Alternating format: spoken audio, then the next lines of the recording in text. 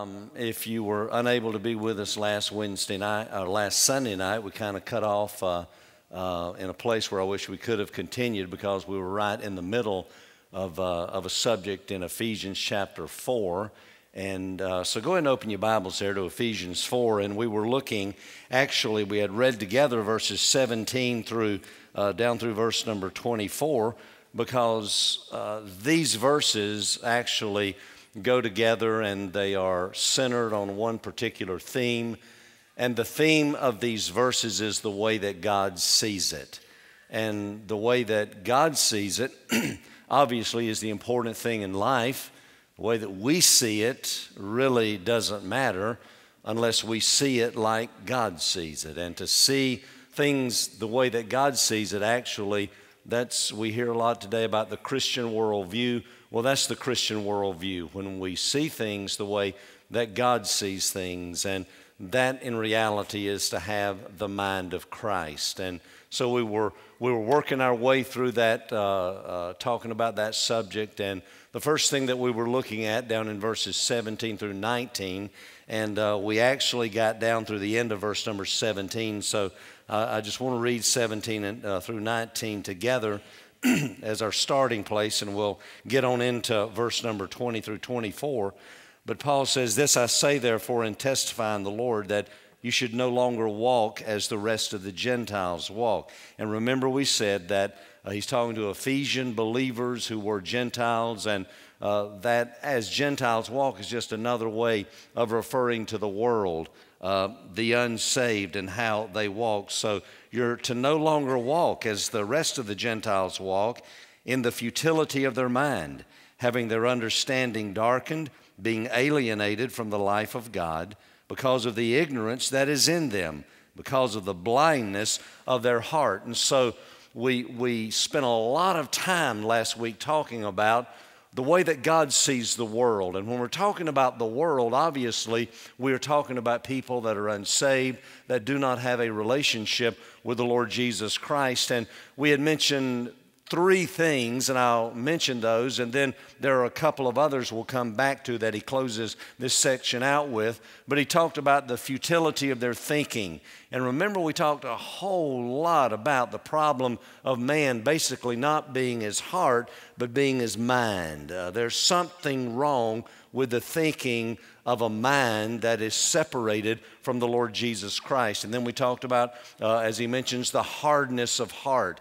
And that word hardness of heart really is talking about spiritual blindness. And we went through the Greek text and showed how that, that word heart was used in other places, that word to mean blindness. And then he kind of concludes that with a very uh, sad description when he talks about being uh, alienated from the life of God. Now, obviously, as believers, we are to make an impact in the world. We're to make a difference in the world in which we live. So when we talk about the application then of believers and their relationship with the world, considering what the Lord has to say about the world, let me just uh, mention a couple of things before we mention the uh, final two things in his description of the world. And that is number one, Christians are not to live as the world lives. There, there should be no reason why we would ever have any desire or any motivation to live like the world when the world is futile in their thinking and hard in their heart and alienated from the life of God, then, then what is there about the world that should ever compel us to want to live like the world? So Christians are not to live as the world lives. But secondly, Christians are to engage the world. Now, when I think about our duty to the world, our duty does not simply end with us rejecting the world's values or, you know, establishing a different way of life or moving up, you know, on the top of a mountain somewhere and secluding ourselves. But I really think when I examine the New Testament, and when it's giving me my marching orders as far as my relationship with the world ought to, what it ought to look like, I really believe that all of us as believers are duty bound to pray for the world. I think that we find that consistently taught throughout the scriptures. And, and when I'm talking about, you know, praying for the world, I'm not talking about praying for the world in a general sort of a way. but I'm talking about praying for the world in a specific way. So, when I'm talking about praying for the world in a specific way, I'm talking about praying for specific people who are in the world whose thinking is futile, whose eyes are blinded, whose heart has been hardened, that we are to pray specifically for people that we know like that. Now, you know, there, there is one thing I cannot promise and I cannot guarantee. I cannot promise or guarantee that if we pray for specific people in the world that we have a burden for, lost family members, lost friends, I, I cannot guarantee that if we pray that they are going to come out of the futility of their warped thinking, that they're going to come out of their spiritual darkness, that they're going to have a change in the hardness of their hearts. I can't guarantee and promise that, but I can guarantee you one thing. I can guarantee you that if we do not pray for specific people who are living in bondage to the world, we probably will not see anything happen in their lives as far as coming out of the world because the Bible promises us that if we ask, we will receive. So if we do not ask, we know for certain that we are not going to receive. And what, what, what this world, what this nation, what this community so desperately needs is a spiritual awakening, a mighty moving of the Spirit of God. And did you know that historically speaking, that every great movement of the Spirit of God has been preceded by a group of believers who were burdened enough to pray. And so those believers got together. You study all of the great awakenings, and that awakening that we talked about this morning in my sermon in, in Northern Ireland, that, that was all precipitated by a group of young men getting together, being involved with burdened praying. So, historically speaking, every time the Spirit of God moved in a mighty way, in a land, it was always the result of believers getting together and really being burdened about praying. So when it, when it comes then to uh, the condition of our world, we're not just to denounce it, we're not just to separate ourselves from it, but we are to really, really pray for it. Now, do you believe that we are in desperate need of a spiritual awakening today? But the real question is do you and do I, do we believe it enough to really have a burden to pray about it? Because if we're not burdened enough to pray about it, then we're really not burdened the way I think that God would have us to be burdened. So that is the way that we're to relate to this world that is so messed up. We are to involve ourselves in burdened praying. But not only does he say that the world the way God sees it, uh, the futility of their thinking, hardness of heart, alienated from the life of God, but they're spiritually and morally calloused. Down in verse number 19, who, speaking of the world, being past feeling, they have given themselves over to lewdness, to work all uncleanness with greediness. Now, there is uh, almost a frightening truth that is being taught in this one verse. And that is what Paul is saying and trying to communicate to us is that when people continue in sin and they willfully turn themselves away from the life of God, then they become apathetic and insensitive about moral and spiritual things. And you know, if you would trace the downfall of any nation, then you would find that within the history of that nation. So when we just sin and willfully turn ourselves away from the life of God, that's what happens. We become apathetic and insensitive about moral and spiritual things. When they continue to do that, according to this passage, uh, coupled along with Romans chapter 1, they reject all standards of righteousness and ultimately do not care about the consequences of their unrighteous thoughts or their actions. And they develop this scar tissue over their conscience and become totally insensitive to that which is wrong. That's exactly what Paul said over in 1 Timothy, for example, chapter 4 and verse number 2, when he said, Speaking lies in hypocrisy, having their conscience seared with a hot iron. It produces a, a callous over their soul. And then over in uh, first, uh, or, or over in Titus, Titus chapter 1 and verse number 15, listen to this verse. To the pure, all things are pure, but to those who are defiled and unbelieving, nothing is pure. But even their mind and their conscience are defiled. That is the description of a life that progressively turns away from the life of God. It becomes hardened in its conscience to the degree that now the conscience is defiled. And when the conscience is defiled, there basically is no standard for what is right and what is wrong.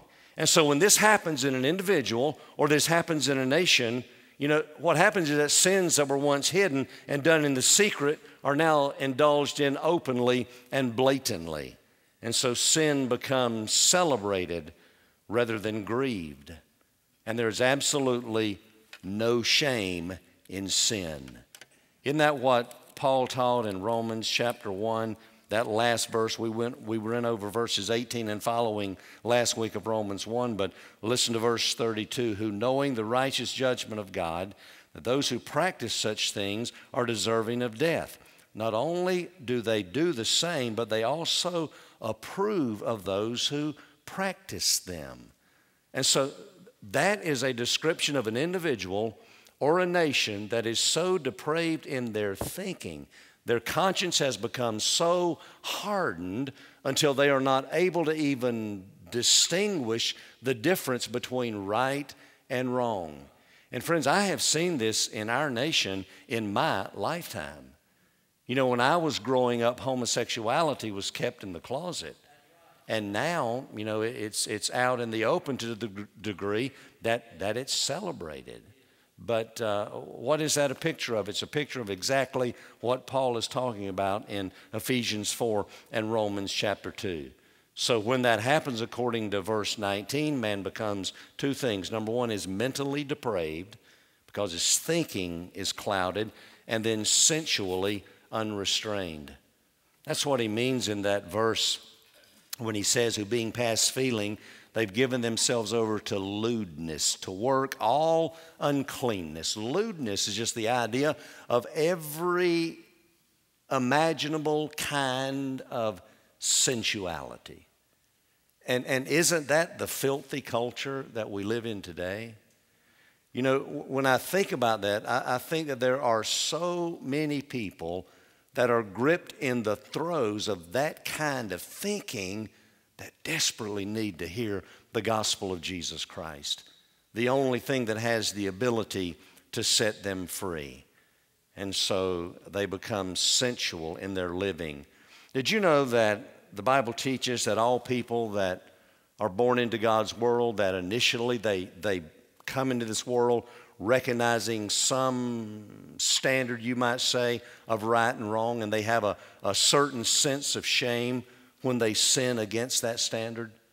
That's something that innately we are born with, according to Romans chapter 2. That, that's something that God puts in the conscience of every human being.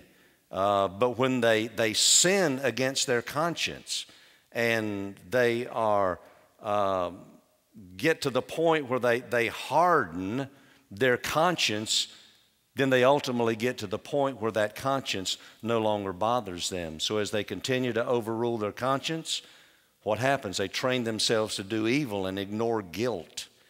And they eventually reject those standards altogether and live solely according to their own desires. Now, friend, I want to tell you the worst place in life we could be is to live solely according to the desires of our flesh. Because according to the Apostle Paul, that even as saved people, that in our flesh there dwells no good thing. And if a person ever gets to the point where they're living solely uh, by the dictates and the desires of the flesh, and that happens just by ignoring their guilt. I tell you, one of the greatest things that can happen to you as a Christian, happen to me as a Christian, is that when I sin against my Lord that He convicts me. You know, and there's this, this bad feeling in my gut. And I know that I have done something that is in violation to the Word of God and the will of God. Friend, that is a good place to be. But a bad place to be, uh, have you ever had this experience? Uh, I have certainly throughout life.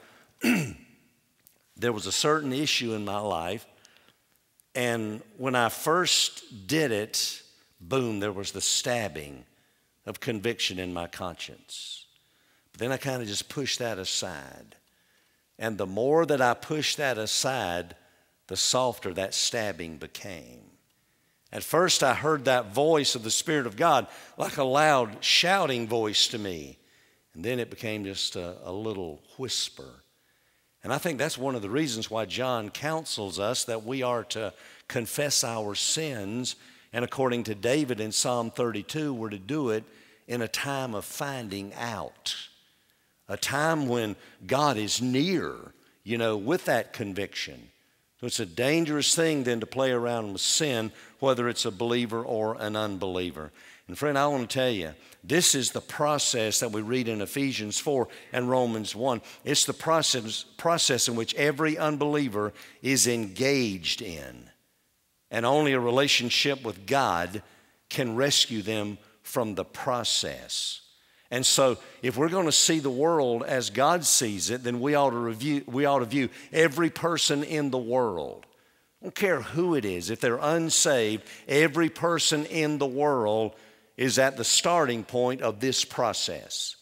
And every person in that process can reach the point of no return. And so that is why we ought to go after them with compassion and passion and try to reach them with the gospel of Jesus Christ. So, this is how God sees the world. But flipping the page over in verses 20 through 24, the second thing that we say, see is the way that God sees the Christian. We've seen how God sees the world, but now how does God see the Christian? Verse 20, but you have not so learned Christ. That's not been your experience. You've not so learned Christ. If indeed you have heard him and have been taught by him, as the truth is in Jesus, that you put off concerning the former conduct, the old man which grows corrupt according to the deceitful lust, and be renewed in the spirit of your mind, and that you put on the new man which is created according to God in true righteousness and holiness. Man, you talk about some contrast here. You know, when we put those verses together, they tell us now, this is what the new life in Christ is like, and this is what the old life without Christ is like. This is the way God sees the world. This is the way God sees the Christian. Let me just mention a few things here. Number one is that the new walk in Christ is the exact opposite of the old walk in the flesh. There is no comparison, no likeness between the new walk in Christ and the old walk of the flesh. Therefore, if any man be in Christ, he is what? He is a new creation. Old things have passed away, and all things have become new. Secondly, the old is, is self centered and futile. The new is Christ centered and purposeful. So when we come to Christ, we are born again. All of a sudden, Christ becomes the center of our lives. And now we have a new purpose for living and it's to glorify this amazing God who saved us. Third truth the old is ignorant of God's truth, but the new knows and understands it. What a remarkable revelation that is that the new life in Christ knows and understands the truth of God. A fourth statement the old is morally and spiritually calloused and shameless while the new is sensitive to sin in every way. Now, I know that it's more so for me than it is for someone that was saved as a child, but I'm telling you, when I got saved as an adult, something happened in my heart where I was awakened to sin like I hadn't been awakened to before. You know, I, I could see things, I could see the danger of things. And that was not anything that I learned in a class, that was something that happened on the inside of me. And all of a sudden, God's Spirit now living in my heart made me sensitive to sin, to a degree that I had not been before. And then the uh, next thing is that the old is depraved in its thinking, while the new is renewed. So, friend, I, I, say that simply say, don't tell me that the only difference between the best of us in here and the worst of them out there is the grace of God. Don't tell me that. Because that, that's not the truth. There is a whole lot of difference between those of us who are inside of the grace of God and those who are outside of the grace of God. There is, there's a light years difference between those of us who are in Christ and those of us who are not. And that's why I've never liked that bumper sticker that says, you know, Christians, they aren't perfect, just forgiven. Now, I understand that we aren't perfect. I understand that we all have our faults and our little foibles and our, our failures, and I, I understand that. But, dear friend, just because we have not been made perfect does not mean that we ought to use that as a cop out to justify living that is unbecoming for a follower of Jesus Christ. Because when, when, when the Lord forgave us of our sin, He didn't forgive us in just some kind of a forensic way.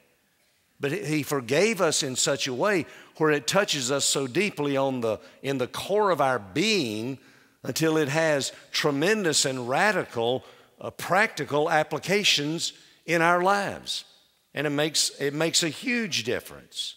No, we aren't perfect. But I tell you, if we can live a life that is far, far, far, far from that standard that the Word of God sets, and we are not bothered by that, then you see something is wrong, I think, in our walk with Him. So let's begin then to talk about the Christian as God sees it. Would you not agree that there are many different ideas of what a Christian is from the world's perspective? you know, the world, when the world thinks about a Christian, and if you were to do a man on the street interview and, you know, just ask somebody, well, what's a Christian? You'd probably get a lot of different responses, wouldn't you? Some would say, well, a Christian is someone that attends church, at least occasionally. Others would say, well, a Christian is one that uh, is, uh, you know, lives by a set of do's and don'ts. That's what a Christian is. He has the do list and he or she has the don't list. There are others, and I think that this is increasingly more true, who would say that a Christian is someone that is narrow minded or, or bigoted or intolerant. That, that's what a Christian is. But what does God say a Christian is? And in these four verses, the Bible tells us. The first thing that he says is that a Christian is someone who is known for having a personal experience with Jesus Christ. Now, in verses 20 and 21, he says, But you have not so learned Christ. If indeed you have heard him and have been taught by him, as the truth is in Jesus. Now, this idea of personal experience, I know what you're thinking, Pastor, where in the world did you get that from? Well, we do have to read between the lines, and we do have to do a little word study here.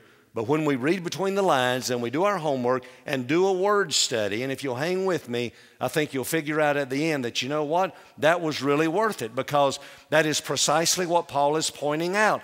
A Christian, it's not someone who has been baptized or not someone that has joined the church or not even someone who is perhaps active in church. But a Christian is someone who has had a personal experience with the Lord Jesus Christ. You know, would you not agree with me that, that the line of demarcation between the way God sees the world and the way uh, God sees the Christian, that dividing line of demarcation is Jesus Christ? That, that, that is the supreme thing. That's what separates the world from the believer, right? It is the Lord Jesus Christ. And this new life that are, that's being highlighted here in these verses, the new life doesn't emerge from self discovery or personal enlightenment like the New Agers claim, but it emerges from having an encounter, a real personal encounter with the life changing Son of the living God, whose name is Jesus Christ. God says, that's what a Christian looks like. That's the way that I see a Christian. And you see, that is precisely what Paul means in verse number 20 when he says, But you have not so learned Christ. You, you didn't come into a relationship with Christ by having this emerging new life or some kind of a personal enlightenment experience. No, it came by a relationship with Jesus Christ. Now, that little phrase there in verse number 20, but you have not so learned Christ, learned Christ, what, what does that little phrase mean? It's, it's synonymous with salvation. So, what Paul is saying is that this is not how you were saved, but you were saved, and he's going to follow that up. I'm going to show you in just a moment by talking about having a personal relationship with Jesus Christ. One of the most beautiful invitations to salvation is found in Matthew's gospel, where Jesus said, Come to me, all you who labor and are heavy laden, and I'll give you rest. Take my yoke upon you and learn from me, for I'm gentle and lowly in heart, and you will find rest for your souls. For my yoke is easy and my burden is light. That, that is not an invitation for those who already are believers. That is an invitation to those who are not yet believers. Come to me, learn of me. But it's so interesting in our text that the Apostle Paul uses three verbs, three verbs to highlight this the word learned, the word heard, and the word taught. Learned, heard, taught. And all three of those verbs tell us the way God feels about having a personal experience with the Lord Jesus Christ. I'm going to try to, if I can, point these words out to you and what they mean. But that word in verse number 20, that word learned, is the word emathete. I think that's the way that you pronounce it. It's the Greek word emathete. And it literally means come to know. But you have not come to know.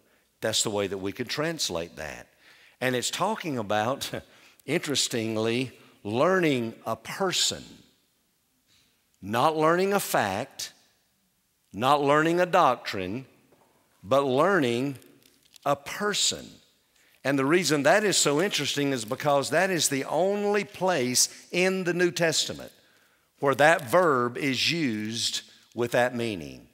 It's talking about knowing a person, not a mere fact, not simply a doctrine. It's not a knowledge about the historical Jesus or his doctrines. It is knowing him, is what he's pointing out, not simply knowing about him. Isn't that what Jesus said the gospel was in his high priestly prayer in John chapter 17, verse number 2 or verse number 3, when he said, This is eternal life, that you may know the only true God and Jesus Christ, whom you have sent.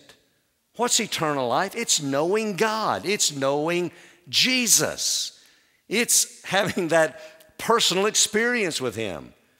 It's not knowing about Him, it's not being able to recite the Ten Commandments, it's not being able to recite a certain creed, but it's knowing Him. And how many times do we actually hear the gospel being proclaimed like that. Eternal life is knowing Him. See, friends, Christians aren't Christians because they have entered into a relationship with the church. They are Christians because they have entered into a personal relationship with Jesus Christ. And it seems to me that Paul is going to point out later on in these verses that, man, when you have that kind of knowledge, that kind of knowledge changes you at the very core of your being. That is why Paul can say that we are brand new creations in Christ. So there's that verb learned. But there is an, a second verb that is used in verse 21 for heard, and that is the word ekosate. Ekosate. You have heard him. Now, notice what that verse does not say. When I saw this, I wanted to have a spell in my study. Verse 21, he didn't say, if indeed you have heard about him. What does the Bible say? If indeed you have heard him. If you have heard him, then you are a believer. And the whole point he's making is that God's people, saved people, Christians, are the ones who have heard him speak. How in the world have we heard him speak? We heard him speak when someone explained the gospel to us through the scriptures. Paul's immediate audience, who were they? They were the Ephesians. How did they hear Jesus speak? When Paul expounded the gospel by preaching the word of God, they heard him speak. Now, friend, we have learned in recent days that if you go out there and say that you've heard the Lord speak, people will say you're crazy. That's hard for the world to understand. Why is that? It's because the world, their minds are clouded, their hearts are hardened, their eyes are blinded, and they are alienated from the life of God. And so, therefore, to say to the world that Jesus spoke to me, man, they think you're crazy. And so you end up like people in the world, like those crazy ladies on The View who said that our vice president was insane because he said Jesus speaks to him. Praise God. I'd rather have a vice president that says that Jesus speaks to him than one that will not say that Jesus speaks to him. Friend, uh, honestly, think about this. Can't all of us in here say, that I can recall times in my life when Jesus has spoken to me.